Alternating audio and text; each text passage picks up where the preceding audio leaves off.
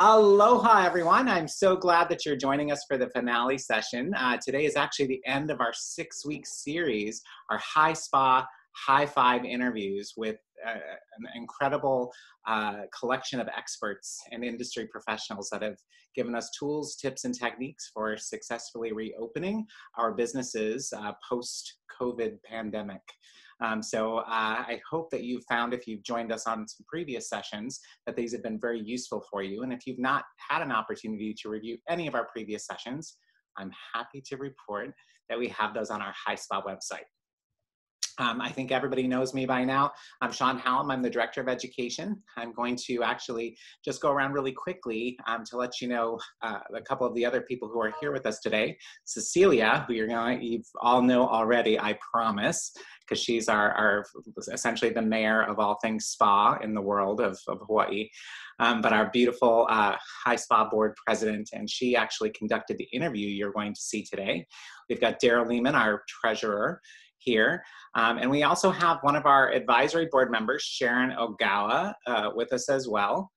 And um, you may have met Amanda um, last week. Amanda joined us uh, last week as our official uh, HI-Spa secretary. So she's going to be serving our organization and all of you with excellent communication uh, tools and, and resources in the weeks going forward. And we're just adding her bio to our website. So check that out uh, next week. Um, so um, what we're going to do today is I'm going to queue up our last session, which, uh, which was really incredible. And thank you so much to Cecilia who put this together. Um, she ha has a, a wonderful uh, fr friend and industry colleague who is going to provide us with some insight as to what has happened with his businesses on the mainland. Um, Rodney Cutler, um, who is a, you may already know him. He's a celebrity stylist but also works in the world of fashion as well. He owns a, a number of businesses and has had an incredible journey so far in getting his businesses reopened. So I'm going to go ahead and cue that interview in just a moment. It was pre-recorded yesterday. As you can imagine with the time differences between us and the mainland, sometimes uh, recording these videos in advance is a better opportunity for us. but I assure you that if you have any questions uh, for Rodney, we can get those to Rodney through Cecilia, and we'll um, we'll uh, either engage you individually via email, or we can actually announce in a future um, session, you know, sort of follow up to that. So um, I'm going to go ahead and cue this up, and we'll get this party started. One second.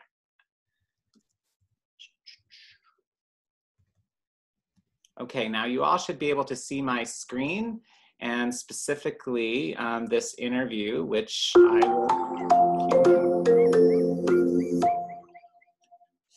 Aloha HI-Spa friends. Super excited today. We continue to do the HI-Spa Navigating Together series post pandemic, the HI-Five Top Questions. And today we have a great artist and uh, an expert in beauty and fashion, Mr. Rodney Cutler. So, Rodney, why don't you tell us uh, what you're doing, what's going on, and aloha. Oh, aloha. Hi, Cecilia. Thank you so much for having me. This is exciting. I, I wish I was doing it in person in Hawaii, but hey, I, I'm originally from Australia. Uh, I built my uh, career doing education, uh, salon work, and then moving into fashion. So I started Cutler, the brand, uh, early 2000s or late 98, uh, I think it was. And then we, um, and then we, our goal was to really sort of uh, become an authority in fashion.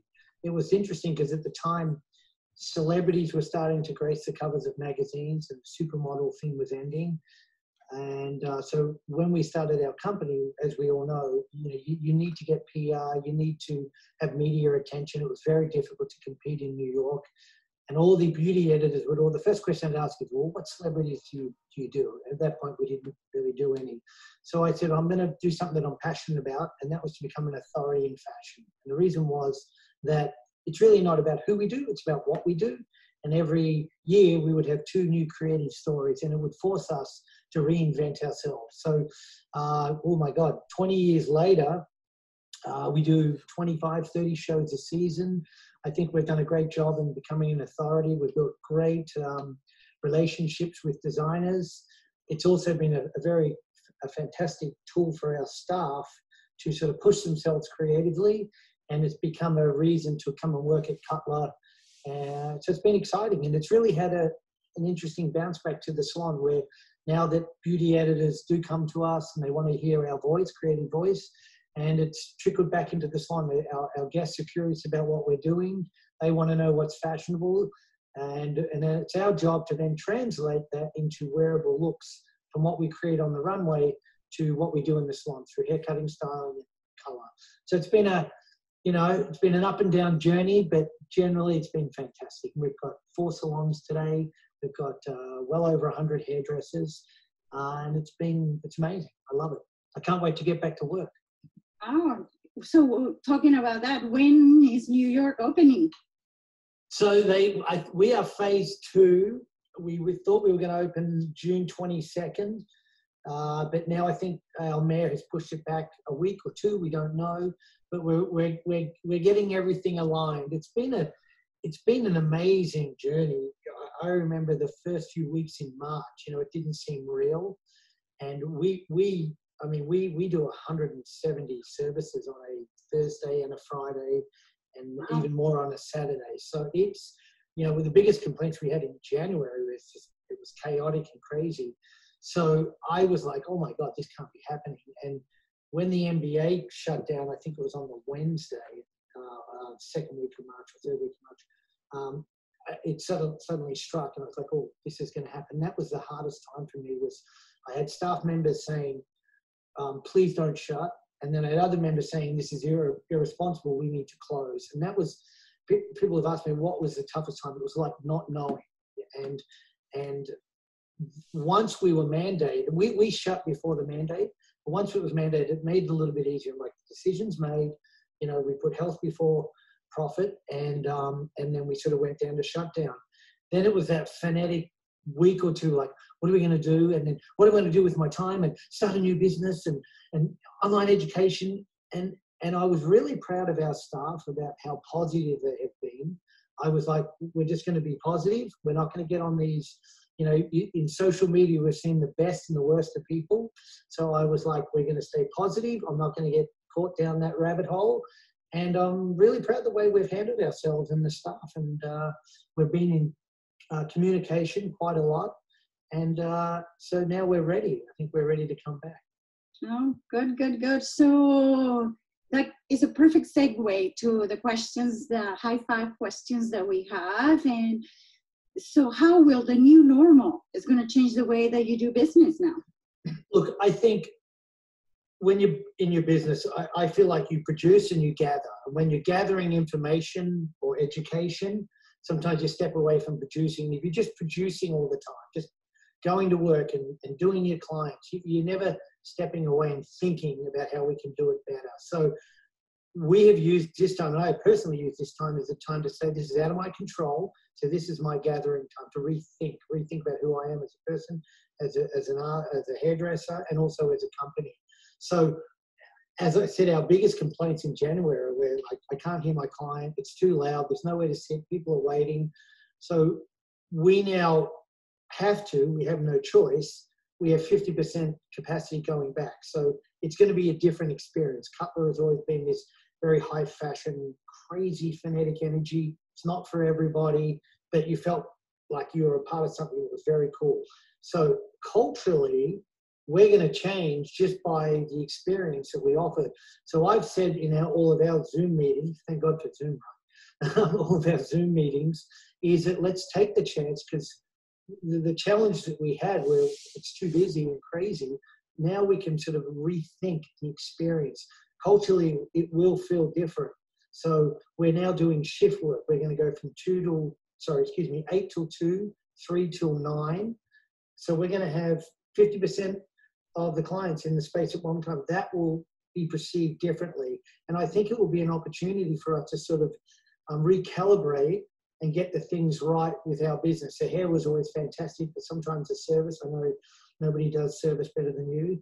Um, but uh, that was the thing where we were lacking. So it's a real opportunity to rethink that. Good, good, good. Uh, well, talking about service, you know, Hawaii is so famous for the aloha spirit. And of course, uh, around the world, everybody has incredible customer service. It's just uh, with different names. So, would you, if you're having masks and if you're having uh, plastic shears and all that, do you think some of that customer service is not going to feel genuine? You can't see the person smiling, or you still think we can do a good customer service? I I think we absolutely can, and and I remember going to um, you know um, the Four Seasons in a way many many years ago, and and I I remember the the, the attention of detail and, and the communication, and and just the, the the time where people take the time to really connect with you and ask questions, and so I think for us it's going to uh, uh, it's going to um, require the setup. When the, it's going to start when we really book the appointment even setting up the comfort level of like of the experience and setting the tone setting the expectation. Even with our staff coming back i'm creating much more flexibility. And we're pretty flexible anyway about the comfort making sure when people come back to work they're comfortable. When the guest calls here's what's going to happen. We're going to do a temperature check we're going to uh, here's what the, the procedure is there's no one in the waiting room so I think if we set the expectation up front, I think we'll be totally fine. I have had more in this time. I've had more conversations with my family. I've had more conversations with hairdressers that I respect and like that I don't normally have the time to talk to, and more conversations um, with clients either through text. So there is a there is a desire, and I think as an operator, and whether whether you're a, a spa expert or esthetician or a hairdresser, that having that connection with your guests is going to be absolutely critical because they're dying to come back and there's and i think that opportunity i'm doing it all the time on text like hey coming back soon how are you doing? Um, what what can i do with my hair in between to make make me get through it? So there is the opportunity but it will look a little different. I think our front desk is going to play a huge role in setting that up you know in in the beginning uh, so quick question, being the expert not only in beauty and fashion, but you also own your own businesses, uh, you own your four salons.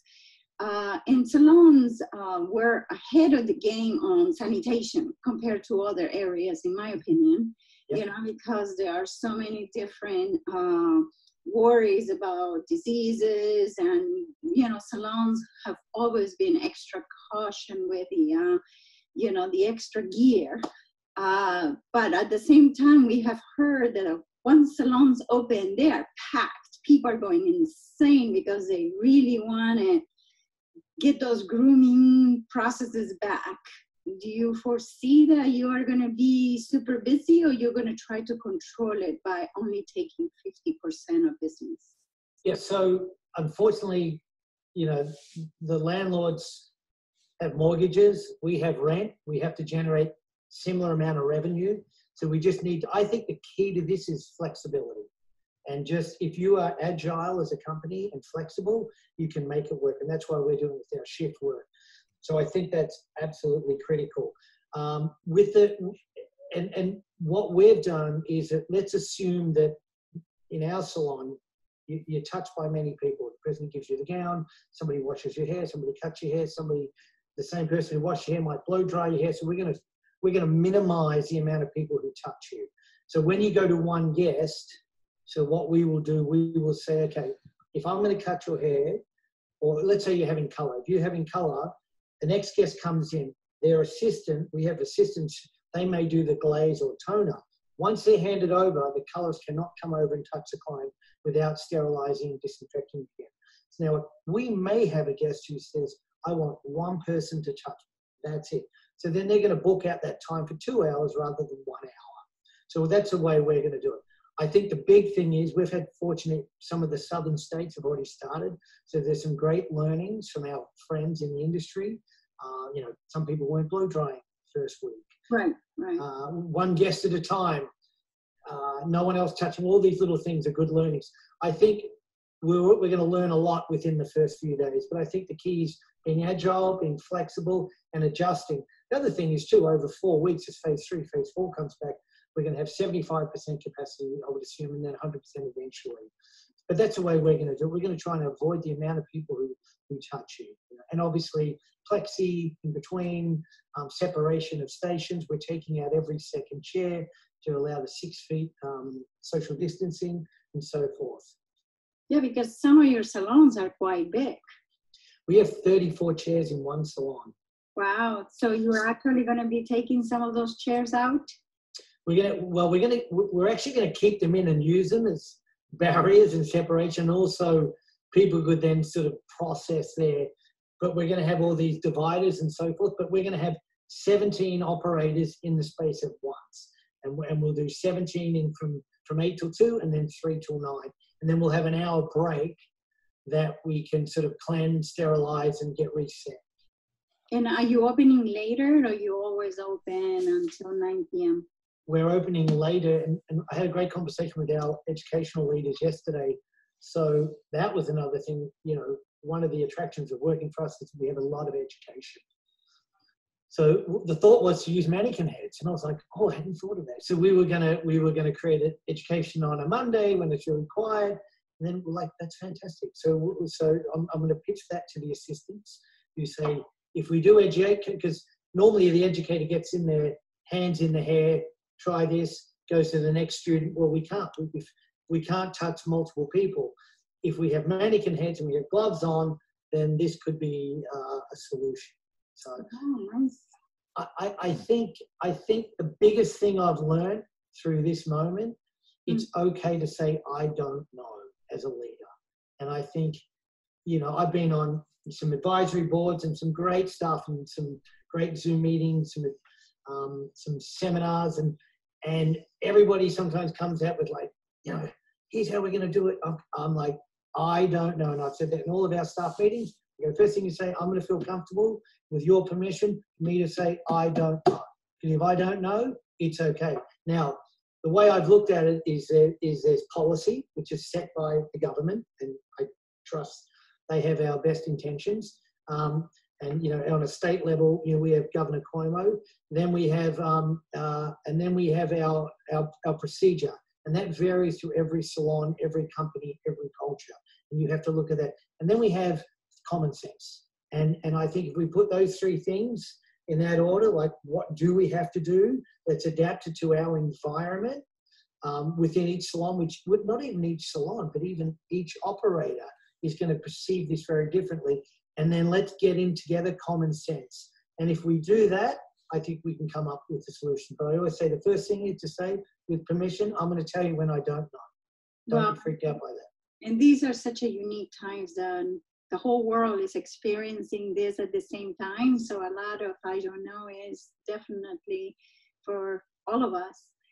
Um, so uh, did you have to change? I'm assuming are you doing like a pre-orientation or a warm welcome for your staff so they all understand what the big goal is? Uh, you bringing them all one day earlier so you can kind of review all your new policies. What are your thoughts? It, we've been in contact, not bombardment, but we've, I, I'm an open book, so I've allowed people to call me whenever they want.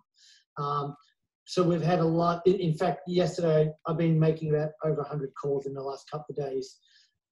What what we've done, we've had a, some some structural emails go out just about what's happening. We're actually sending another one out this week just about what we know. And again, we thought we were going to start on the 22nd.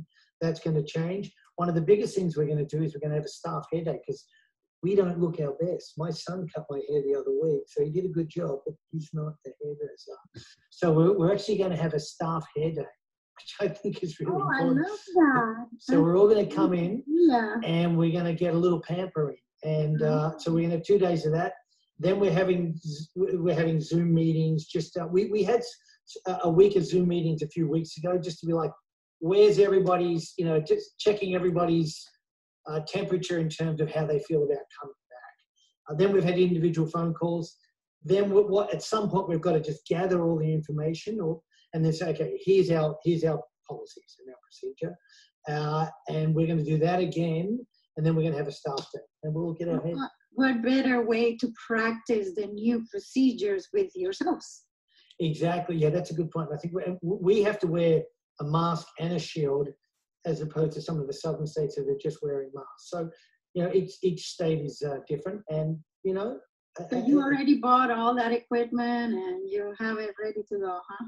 Yeah, I so we we we we're going to provide a shield for everybody, and that will be their shield. They have to uh, sanitize it after um, uh, each service. Then they have their mask for the day. They'll get a new mask every day, and then we'll have masks for the staff. I would assume, oh, sorry for the clients. I would assume they will already come in with masks. Yeah. Then we'll have gowns. We'll have disposable gowns. We'll have real gown, uh, the couple of gowns. That's what I was uh, going to ask you. You're going to be bringing a lot of gowns because, you know, in most of salons, you reuse uh, Yep. some of these things. And uh, are you buying extra to just keep washing it or you have a few disposable ones?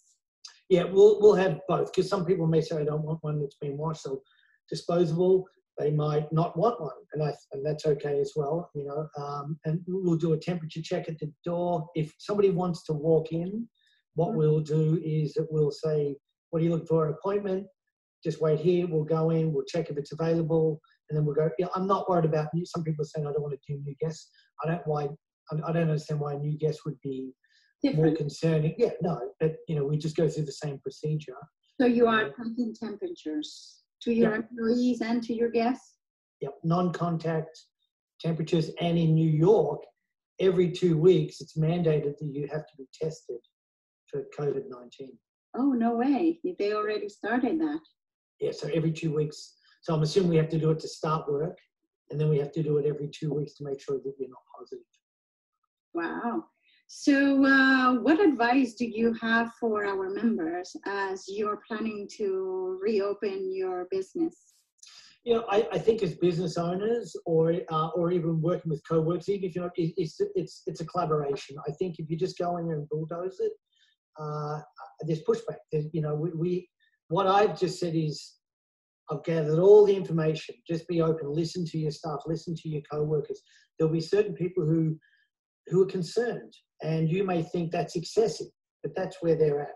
And I think we just have to engage it. What we've said is, if you're not comfortable with our procedure, totally fine. Everybody's guaranteed their job back.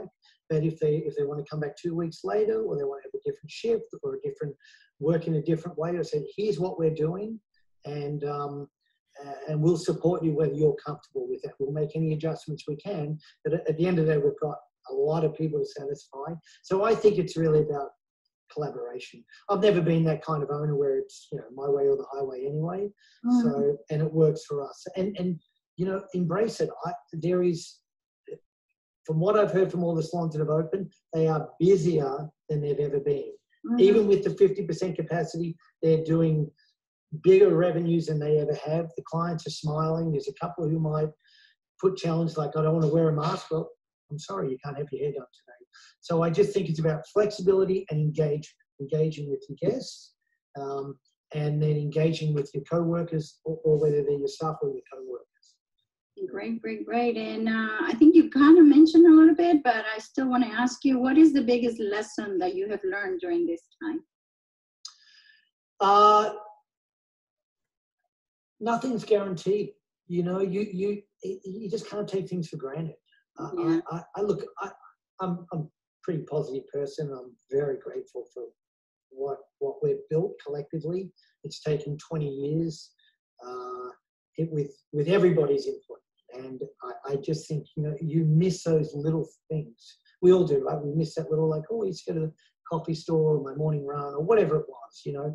And um, so i i there's no guarantee to this. I, I I did not see this coming. I, I if you had said to me we would be shut for three months, I'd think I've lost my whole business, you know. But we haven't, and and you fight and you you you dig in and and uh, and you keep going, you know, in your own way. Whether it's keeping your business open, closing it, doing business in a different way, you keep going. So it's taught me. I mean, it's I- already had that persistence, but it, you can get through these things.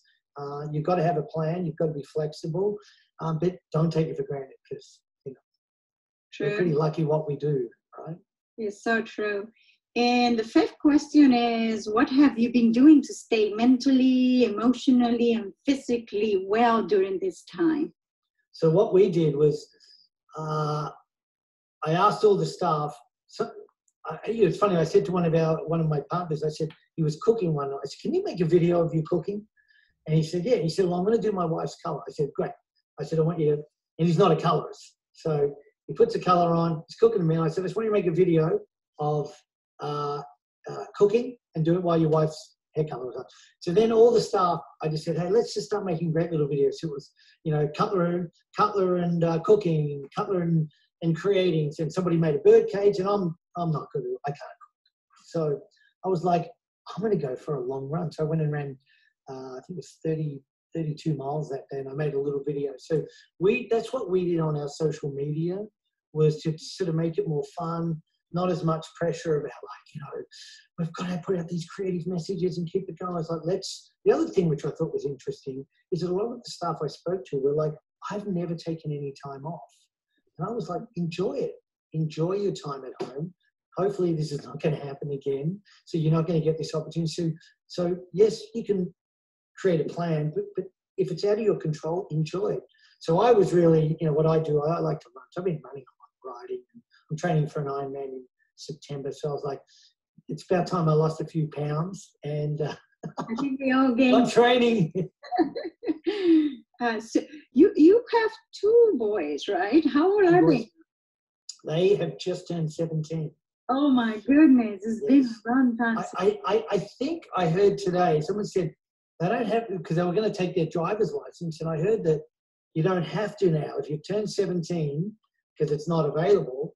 So I, I, I, I, that's when I get out here, I'm like, guys, check and see. You might actually just get your license, which just scares me that they'll be allowed on the road without actually going through a test. Oh no way! Automatically. that's what I heard. That's what I heard this morning, but I could be wrong. I'll, I'll check.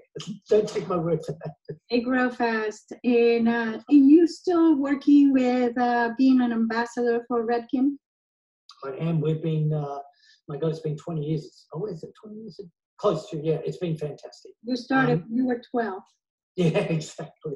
It's been a great ride. They've just been, you know, for me, partnerships with um, product manufacturers. It, it, it's they're all coming all different shapes and sizes. What was great was that they really supported our creative initiatives. You know, I love their product, I love their education platform, and it's just been fantastic. And it's just, it's just you know, we wouldn't be where we we are without them. And that's what you look for when you you know we, we always do creative things, and they've supported it. And it's been fantastic journey partnering with Fashion Week and and also in the salon world. So it's been awesome.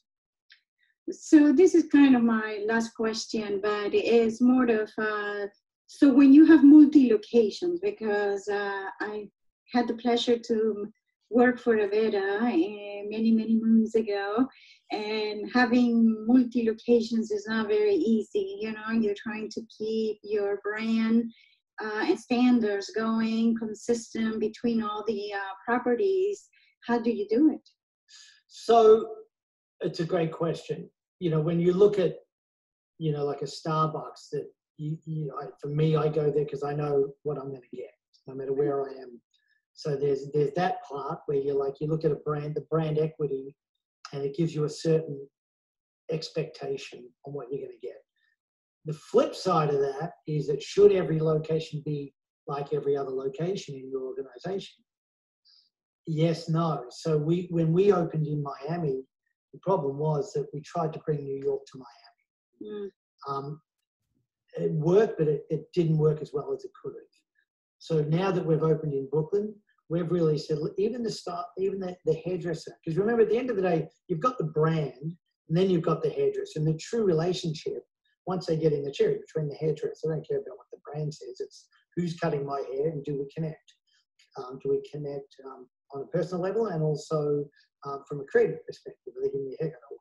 So we have now we celebrate the individuality of each store. They look different slightly to represent and to connect with the neighborhood, but also fit into our umbrella. So, you know, I'm not, I'm not, I'm not you, Mr. Entrepreneur, you know, how to build a thousand hair salons, but that's just the way we've done. So it works for us. So we want to be individual, but also have some brand standards and also an expectation. We do hope that they see the name and they go, oh, wow, that's quality, but it's different. It's a different experience, different hairdresser who's doing the hair on Fifth Avenue, um, 58th Street, where we are now, to Brooklyn. And I think that's important because at the end of the day, it's one guest having their hair done by a hairdresser.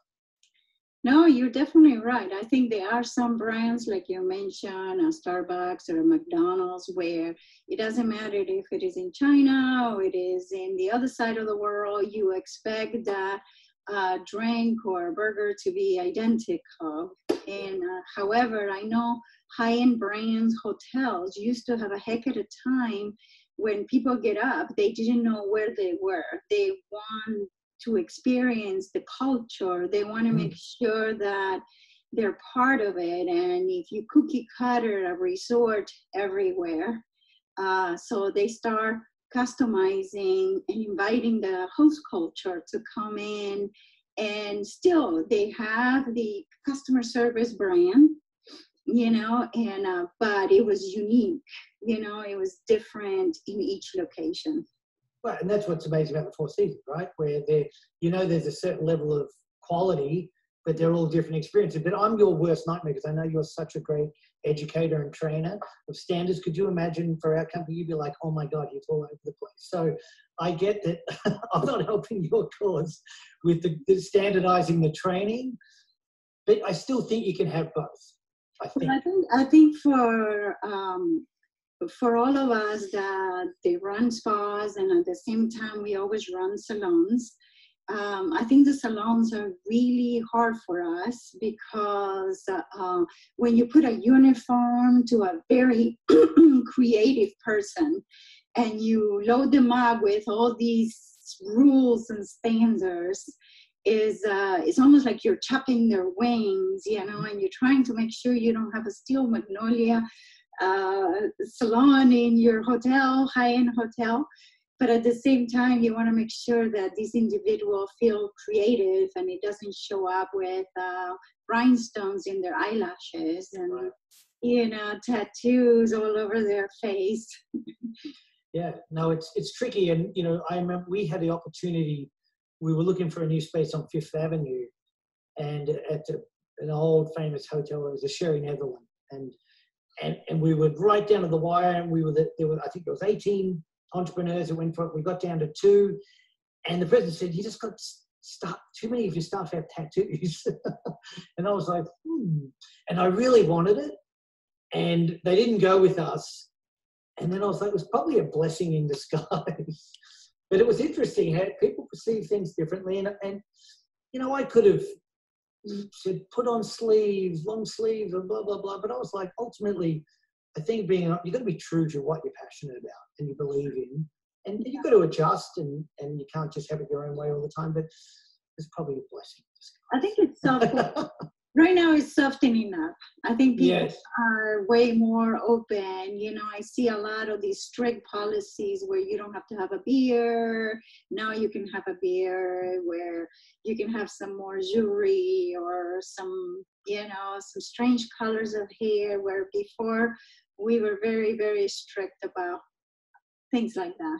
Well, and in, and in our, you know, I think having, you know, 50 people who look like me and dress like me and do hair like me would be a pretty boring company, right? Like, so, you, you know, it's all about next generation do yeah. it better. And, and so I, I, I, the one thing about Cutler is I've always, always, I want individuality. I've always, I want, I want people to build their own career path, you know, and, um, and hmm. have that flexibility, but also be themselves creative because, you know, we don't need 50 of me. Right.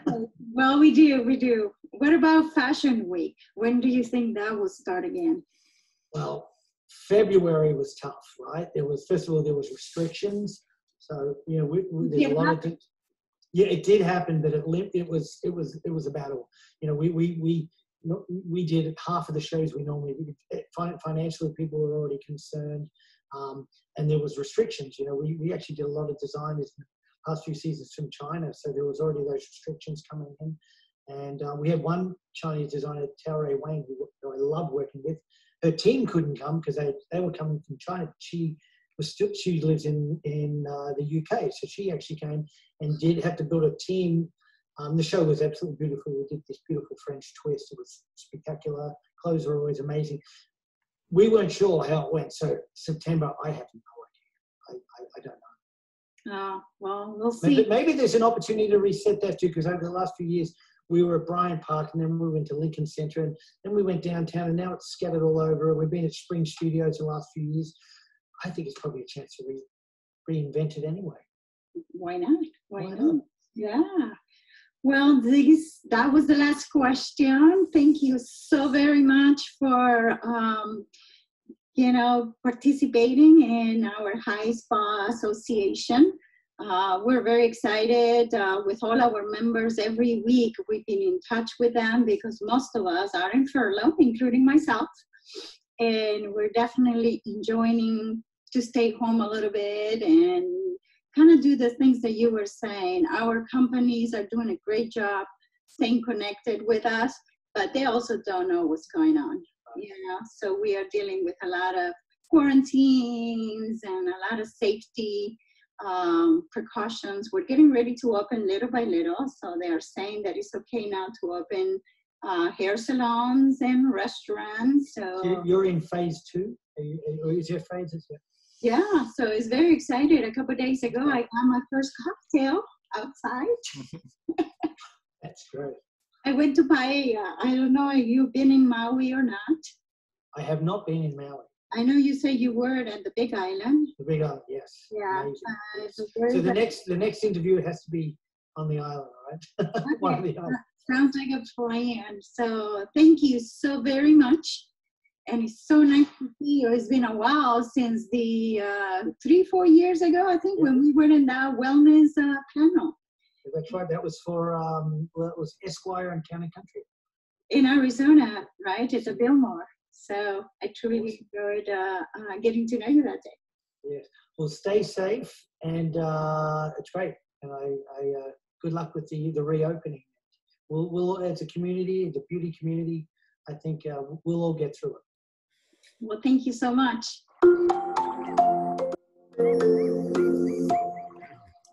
Okay. Well, thank you so much, Cecilia, for that fantastic uh, interview. I mean, you had so much curiosity that you brought to that interview, and and I know that our members are are very grateful for all that they could learn from Rodney.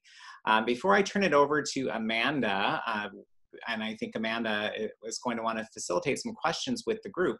I wanted to just remind everyone that we have, hang on if I can get this going right here on my side. Uh, all of these interviews are now uploaded to our website. So um, make sure that you go to hawaiispassociation.com and on the education page, you will find all of these fantastic interviews uploaded here for your review. Um, in addition, if you have not already seen our reopening guidance uh, overview, uh, please take the time to do that. Uh, so I'm done, and I'm going to turn it over to Amanda. Aloha, everyone. That was such a great interview, Cecilia, and it was really nice to hear from Rodney Cutler uh, and all of his answers to our HI-Five questions. Uh, does anyone have any questions? Please put them on the, the chat. I don't see any questions coming in at the moment, but uh, please put them up there. We can answer any questions. I uh, I thought it was really uh, an interesting idea about his uh, pampering for his team uh, and his makeover day for his own team members before they get started again. And I was thinking that would be a great idea that everyone does need a little bit of a refresh before we get started. But I loved that particular point that he made. Um, although he made a lot of good points, and it was really nice to hear about how um, they're doing you know in other markets and and sharing some of those ideas with us so any questions You know, I'd, I'd just like to again thank Cecilia and uh, Rodney for uh, the great interview. Excuse me. It's um, it was interesting to see that although we are all mainly spa based, uh, it was interesting to see so many similarities between our spas and his salons, and um, you know, just his philosophy on going forward. You know, the notes that I kind of that will stick in my mind a little bit are the, you know, when he said safety before profit was something that is really commendable. Um, you can see throughout the interview that he remains positive. You know, he's such a positive guy. And I think that we as leaders in our own spas need to reflect that, be positive, be the leaders, where people are going to be heading back with uncertainty. Step up and be positive and reassure them. Make sure that all the, you know, all the new measures that we're introducing are there, of course, but reinforce and encourage everybody is going to be very, very important as we head forward. Um, you know, I think he also said uh, opportunity to rethink offerings. And so often we sometimes feel, I personally feel that our menu has not really progressed as uh, it's stagnated in fact. You know, we've been doing massage, facials, body treatments, hair and nails for 15, 20 years. And so here's maybe an opportunity of conditions that are now forced on us to maybe change a little bit and be get out of the box get out of the envelope push push things into developing the industry further um, based on our current conditions um, you know many other things uh, be flexible he was saying that uh, you know of course stick to your principles but be very flexible with this changing environment all the time. So, um, and I, I just loved his carefree attitude about don't take life so seriously. It was really nice to see that, uh, you know, with all this heaviness that we're dealing with, that there's still a light and we, you know, you got to enjoy life. And so I really enjoyed the interview and thank uh, Cecilia for setting that up with, uh, with Rodney. Oh, you're welcome but no, it was it was a great. Uh, um, he's a great human being, and I think that was one of my favorite things about the flexibility that he has with his staff, and what better way to practice uh, all the new procedures by having a spa day with the team. You know, so um, I love That's his energy. Yeah. Thank you. And I think we're pretty much done today, unless somebody has any more questions. Uh, one of the main reasons that I wanted to interview somebody that owns salons is because they are our stepchild. You know, most of us have salons, but our, our bread and butter is really uh, the spa.